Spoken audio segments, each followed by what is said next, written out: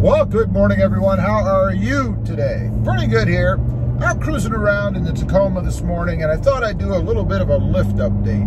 You know, I get questions frequently on the channel about what's my setup, what am I running, how do I like it, stuff like that.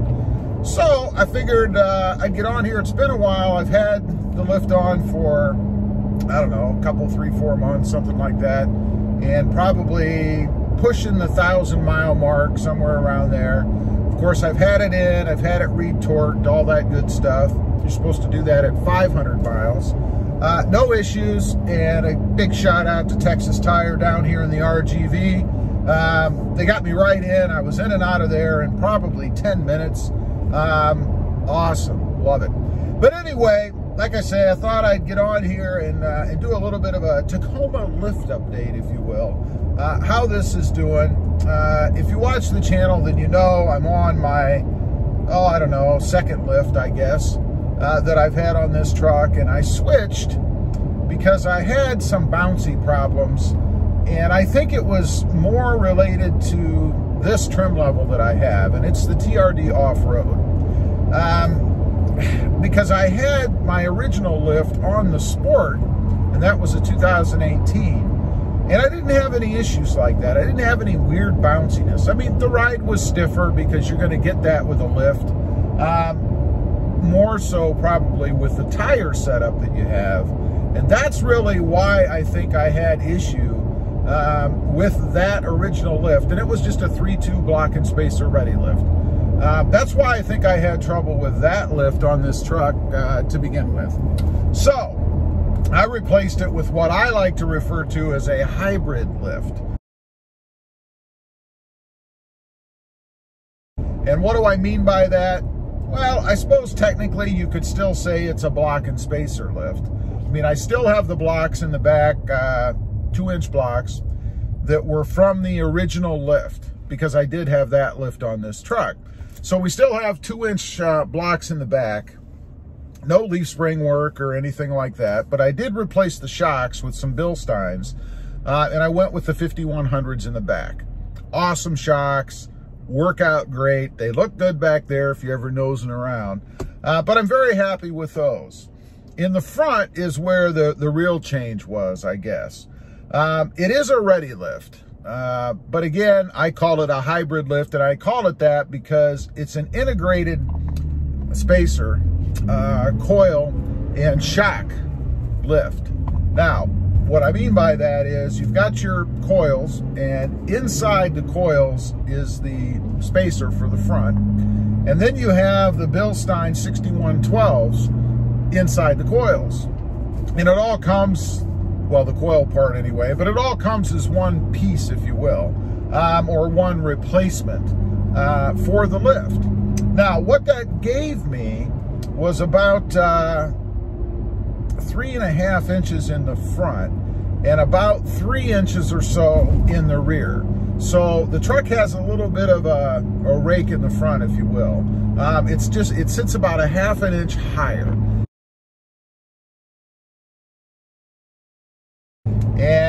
It is noticeable, you can see it. Um, but I'm thinking that over time, and I need to measure it again, I haven't recently, um, to see if we've uh, come down at all. Because I think after it settles a bit in the front, could settle in the back too though, but I think after a while and it settles in the front, uh, it will drop a little bit. And I also have plans eventually uh, to change the bumper in the front to go to uh, probably a heavier bumper. It'll probably be aluminum, uh, but nonetheless, it's still going to add some weight to the front end. And that's going to pull that front end down a little bit, I think. So, uh, might have actually been the uh, perfect scenario for me, given that I am looking to uh, go ahead and put something heavier on the front. Now, as far as the ride, it did get rid of that bouncy feel or whatever that I had. I shouldn't say feel, it did bounce. I mean, you could actually um, pick it up by eye in the truck. You could actually see it. Uh, it did get rid of that. That's gone. Um, it is a firmer ride, I must say. I think it's firmer uh, than what I had with just the block and spacer lift. Um, and that would be just spacers in the front with the OEM coils and shocks. So I am getting a firmer ride. I do take the bumps, you know, in the road a little bit uh, harder, I guess, than before. It's not a bad thing. It's just that if you're looking for something that's uh, OEM, I guess, and I don't think you're ever going to have anything OEM if you just change the tires to something bigger uh, because you're putting something that's going to give you a firmer ride on the truck. So for what that's worth. Um, am I happy with it? Yeah, I am very happy with it.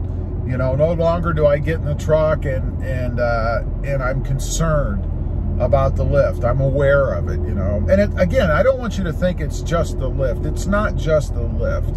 You know, when you lift the truck and change the wheels and tires, it's the whole package, right? That's going to impact your ride and the way everything feels. Uh, bigger, heavier tires, of course, are going to make a difference. And when you add the lift to it, eh, it's enough that you're going to notice a change and it's not going to be OEM. So always be aware of that, you know, if you're looking to put a lift on a truck. Um, would I do it again? Would I go back to OEM? Uh, no, no way. You know, for me, I think the Dakota, uh, the Dakota, the Dakota, I'm thinking Dakota and Tacoma, I guess. I think the Tacoma should come lifted from the factory. I think it's just such an awesome look on the truck. And some would say that it does. I mean, it has a little bit of a, a height increase, I guess, over what, uh, you know, some of the other trucks out there might have. Uh-oh, we're going to head on with a fire truck here. There we go. Oh, he's turning. Okay. that might not have been one of my brightest moments. Uh, but anyway, uh, yeah, I would definitely do it again. I love the look of the Tacoma with the lift on it. I really love the look of the Tacoma with bigger wheels and tires. I think uh, as far as the tire size, you know, kind of got to go with what you're uh, what you're comfortable with. Um, but for wheels, I wouldn't go any bigger than 17 inch. You know, I had 20 inch on my last truck. And the problem with that is, is you reduce the wheel or the tire wall so much that you get a really bad, poor quality ride, in my opinion, because you just don't have the the the rubber, the tire wall, if you will, to absorb all the bumps and things in the road. It looks good.